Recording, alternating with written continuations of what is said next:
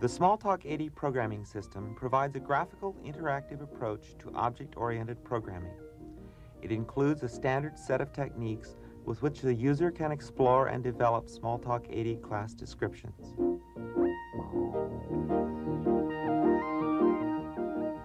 Various kinds of information can be viewed on the display. At the top of the display screen, we see an area or window that is displaying text. To the left is a window displaying a graphical image. Below that, we see some information that is displayed in a more structured fashion using lists of words called menus. There is another window with graphical information in it. This window is partially obscured. Windows can overlap one another much like pieces of paper overlap one another on a desk. The mouse, seen in the lower right-hand portion of the picture, is a pointing device that moves a cursor around the display screen. It has three buttons on it. One button is used to select information. A window is selected by moving the cursor inside of it and pressing the first mouse button. A selected window displays above other windows, much like placing a piece of paper on top of a stack on a desk. Information in the window can be selected using this first mouse button. The selected information can be changed. Here, selected text is displayed as white characters on a black background. The selected text is replaced by typing on the keyboard.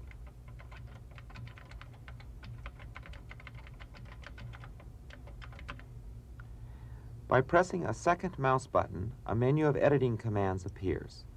Here, the command Cut is chosen to remove the selected text. Windows have identification labels.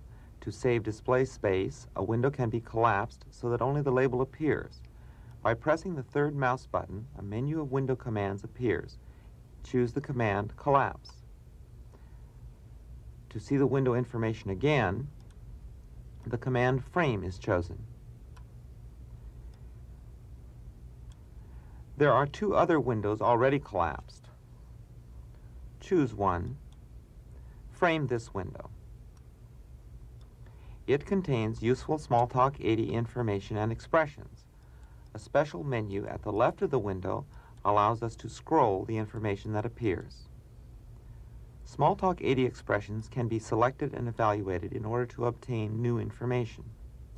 To evaluate the expression Time Now, select it. Press the second mouse button and select the command Print It. Text from one window can be copied to another window. Choose the command Copy to place a copy of the selected text into an invisible buffer. Select another window. Choose the command Paste to insert the buffered text. Of course, the expression could have been typed and evaluated in this second window. Returning to the more structured window, we see that menus appear as a part of the window. Parts of a window can be dependent on one another. Here, which menu appears in one subpart depends on the selection in an adjacent menu. The text that appears in the bottom subpart depends on the sequence of selections. Graphical images can also be edited. Halftones serve as paint that can be spread on the image. The menu for this editor is already on the screen below the image. The items in the menu are small pictures that depict different halftones, different painting options, and different ways of mixing images. Here we use black tone, block drawing, and complementing to modify the image. Windows, menus, scrolling, and selection with a cursor make up the primitive components of the Smalltalk 80 programming interface. Browsers are windows used to find information. System browsers are used to find information about Smalltalk 80 classes and instances. They are used to modify existing class descriptions and to create new class descriptions. Class descriptions often contain examples of how to use them. Class Pen includes an example of how to use an instance of Pen to draw designs. Smalltalk 80 classes and messages are grouped together into categories for the purposes of retrieval. Notice that whenever the cursor is inside a browser part, a scrolling menu appears. Find Class Pen by choosing the category Graphics Primitives in the Class Category menu of the system browser. The adjacent menu then displays names of classes categorized as graphics primitives, including class pen. By choosing pen in the class names menu, the adjacent protocol menu shows categories of messages. Choose the browser menu item instance to find messages that can be sent to instances of the class pen. Choose the item class to find messages that can be sent to the class pen itself. Now choose the protocol examples. The adjacent message selector menu displays the messages to class pen categorized under examples. Choose the message Draw Spiral. The text part of the browser shows the source code for the method Draw Spiral. The method is made up of four parts, the message pattern, a comment about the message, the declaration of temporary variables, and the expressions that implement the message. Here, the comment includes a Smalltalk 80 expression. Select the expression, press the second mouse button to obtain a menu, and choose the menu command Do It. This evaluates the expression. The message Draw Spiral is sent to Pen to produce the graphical effect. This graphical effect appeared inside the browser. Move the cursor outside the browser now erase the design by reselecting the browser. There are a variety of ways to find out about the expressions in a method. The editing menu for methods includes the command explain. Select a token in the expressions. Here we have selected the token self. Choose the command explain. The star by the cursor indicates that computing the response takes time.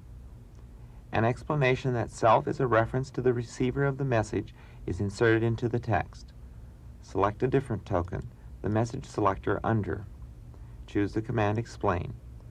An explanation that under is a message selector that is defined in two classes, standard system controller and form class, is inserted. Each variable name, literal constant, and syntactic entity can be selected and explained by the system. To erase the inserted explanations, choose the menu command Cancel. This restores the text to its state prior to our making any changes. Each part of the system browser has its own menu of commands obtained by pressing the second mouse button. We have already seen the editing menu in the text part. Each of the menu parts provides commands for saving or printing the class descriptions. Commands in the category menu support adding, renaming, and removing categories. Commands in the Class Names menu give access to information about the selected class.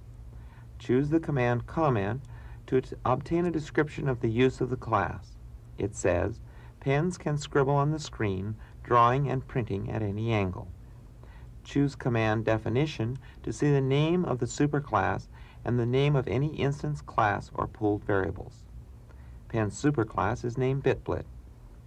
Pen has four instance variables that describe its frame, position, direction, and write state. Suppose you want to find all methods in the system that refer to one of the instance variables, such as location. Choose command instvarrefs. A menu appears. It contains names of all the instance variables declared in Pen and in its superclasses. Choose location. You now designate a rectangular area in which a new browser is displayed. This browser contains the set of messages whose methods refer to the variable location. Choose the message Go to see its method. Notice that a use of location is automatically selected. Close the browser using the menu obtained by pressing the third mouse button. You can find similar reference information about class variables. Also, you can find all methods in the system that reference the class itself.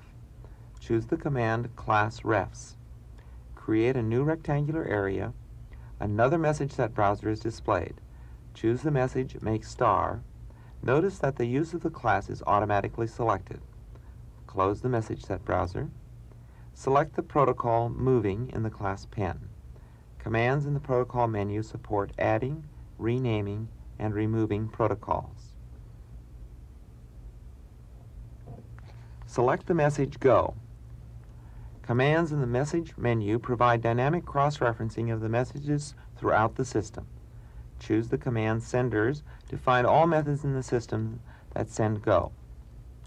A message set browser is created as before. Close this browser. Choose the command Implementers to find all classes and methods that implement the selected message. Only one class implements Go, class Pen. Choose the command Messages to find all the messages sent in a method. A menu of message selectors appears. In the implementation of Go, seven different messages are sent. Choose the message plus to obtain a message set browser for all the messages that implement it. The classes that implement plus are the numeric ones, as we might expect. Select the method implemented in class number. By reading the comment, you learn something about the intended behavior of the original method. Notice that these same commands, senders, implementers, and messages, appear in the menu for a message set browser. This allows you to follow the chain of cross-references dynamically. Each menu in the system browser includes the command spawn. Choosing this command creates a browser that restricts access to information in the system.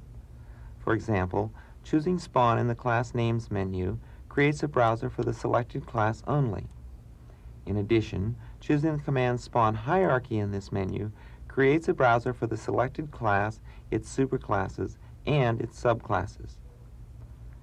We have now seen several ways to find information about existing class descriptions, system browsers, examples in class descriptions, comments in a method, explanations about tokens in a method, comments about a class, and dynamic cross-referencing. The system browser is also used to modify existing class descriptions. As a very simple example, we will change the draw spiral method in class pen. First, browse to the draw spiral method. Notice that the method includes the expression BIC mask form gray. This expression is used to set the color of the pen. Select the token gray and replace it with the token black. Choose the command accept from the menu obtained by pressing the second mouse button. The changed method is compiled and then automatically linked into the system. Test this new definition for draw spiral. The design is in black rather than gray. Erase the design. Now let's change the pen so that it is 2 pixels wide rather than 4. Choose the command accept. Try this new definition.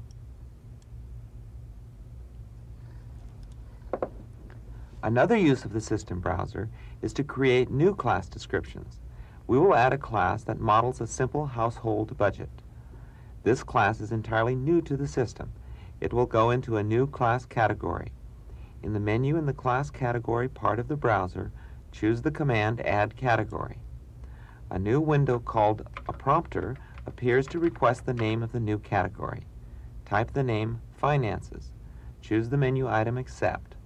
The new category name is added to the menu and is automatically selected. In the text part of the browser, a template for adding a new class definition appears.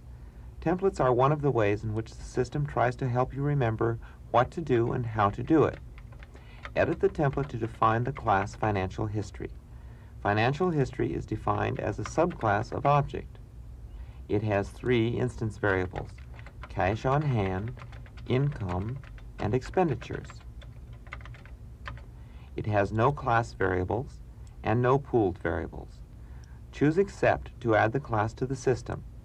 The class name, Financial History, is added to the Class Names menu. The first message to add to the class financial history is an instance creation message. In the menu in the protocol part of the browser, choose the command Add Protocol.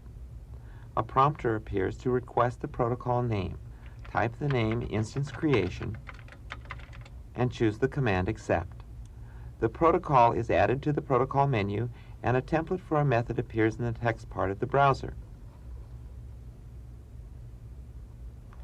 Edit the method template to define the message initial balance. The argument name is amount. Add the comment, create a financial history with amount as the initial balance. And now add the expression, return super new set balance amount.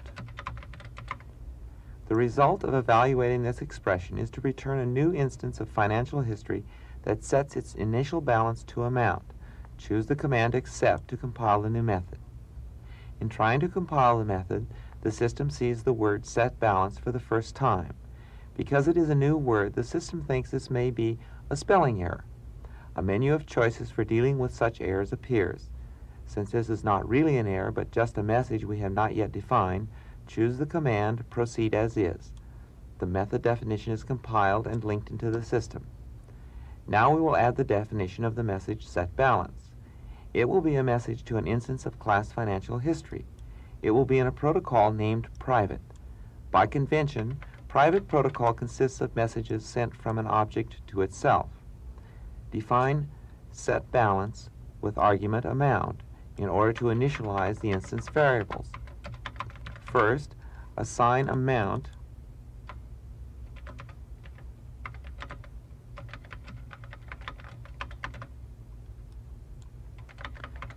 to cash on hand. Income and expenditures are new dictionaries.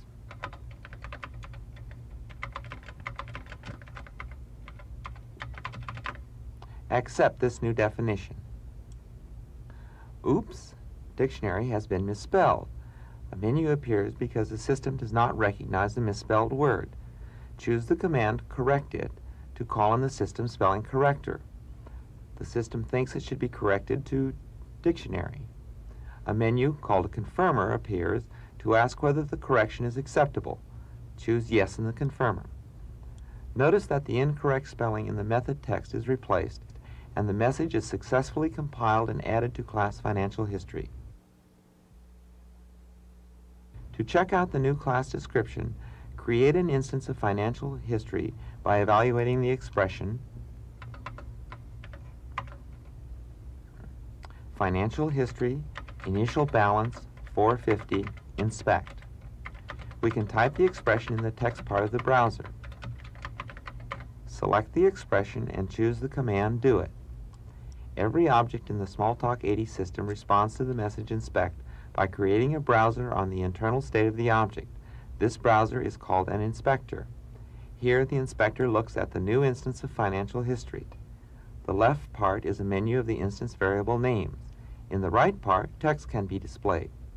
Choose one of the instance variable names in the menu, such as cash on hand. A description of the value of that variable is displayed in the text part we see that cash on hand has been properly set to 450. Choose income and then expenditures.